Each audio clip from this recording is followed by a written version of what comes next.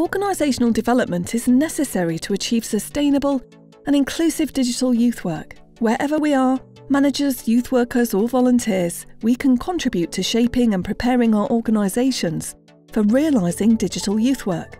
Guidelines for organisational development include reviewing the organisation's vision, goals, and priorities to encompass digital transformations, and for this to inform our strategy, encouraging innovative, experimental approaches and experiential learning.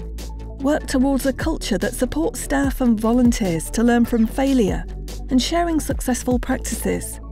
Integrate digital considerations into policies, ethical standards, processes, and planning to ensure the organisation's governance and management are relevant. Build competency based staff and volunteer training for digital youth work, including challenging resistant mindsets. Seek to provide essential software, hardware, equipment, tools, and connectivity to enable staff, volunteers to deliver, and young people to experience quality digital provision and bridge the gap of digital divide. Build partnerships with specialised experts from the media and technology field while maintaining youth work values.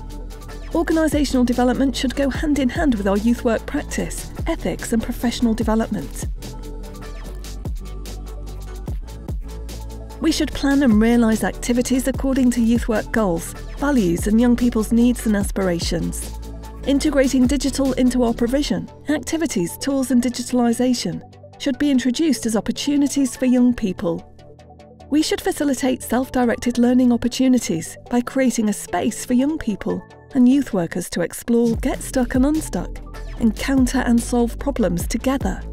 We need to make informed choices about digital tools, considering young people's rights, safety, accessibility, and enjoyment.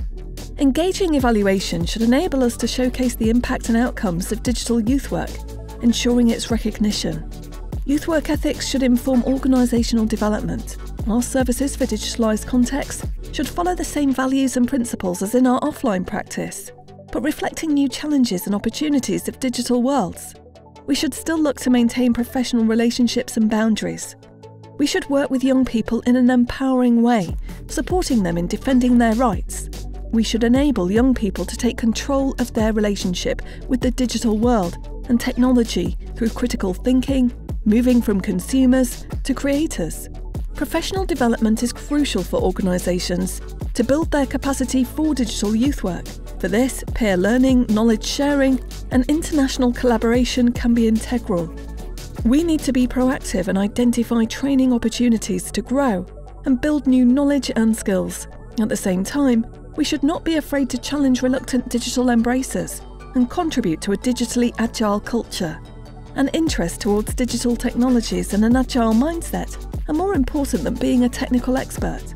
How can you develop your organisation? Make digital youth work one of your organisation's strategic goals and priorities.